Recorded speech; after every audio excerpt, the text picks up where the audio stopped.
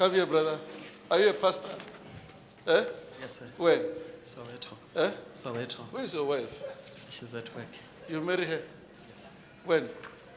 Uh, four years ago, How did you marry? uh, it was a white wedding. White wedding. Yes. But your marriage is going down. Yes. Every day you see it like you are starting to have fear now. Yes. Huh? I, I was telling him. You were telling who? When did he tell you that? Uh, he told me three weeks and today as well. He told you three weeks Yes. concerning marriage. Yes. sir. This marriage is dying. Yes, sir. Uh, he told you that marriage is dying. Yes, man of God. Yeah. Uh, when you do a wedding, you understand? You must check who's blessing. Amen. You hear what I'm saying? Amen. Uh, it also determines that. Because marriage, when you are blessed, the blessing means there have to be things that need to be delivered from both of you. Yes. Amen.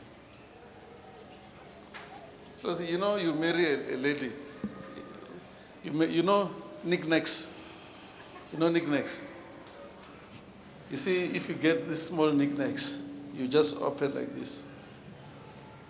You see a lady you marry, you want to marry. Before you want to marry that lady, when she eat NikNaks, she take it one by one, like she's putting it somewhere. in the- in the middle there. After you marry her, she opened the whole package. And oh.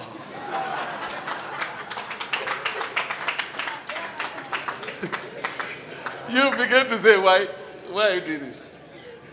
I don't want to talk about, there are many things this brother is saying that he never, he never thought he can see that. Before you marry, it was nice just to beat and then, you know, and from there, one NikNaks takes two minutes. Even when it's finished there, the person will be like, and the person is you know, I don't eat too much.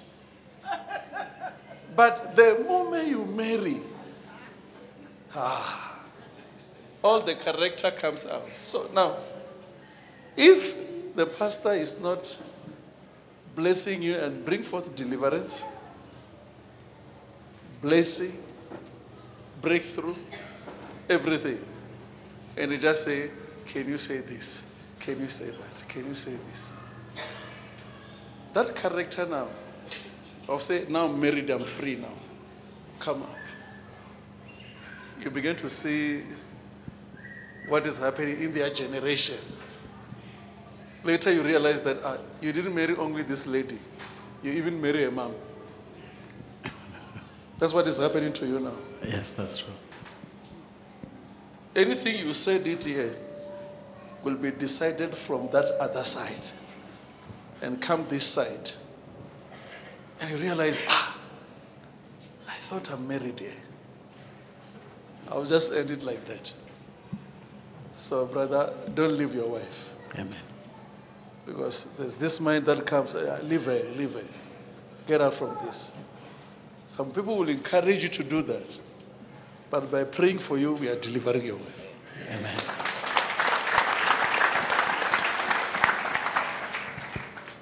Oh, demon! Come on, leave my brother. Leave a marriage. Come on. Leave him down. Come on. Come on. Thank you, Father. You are free, brother.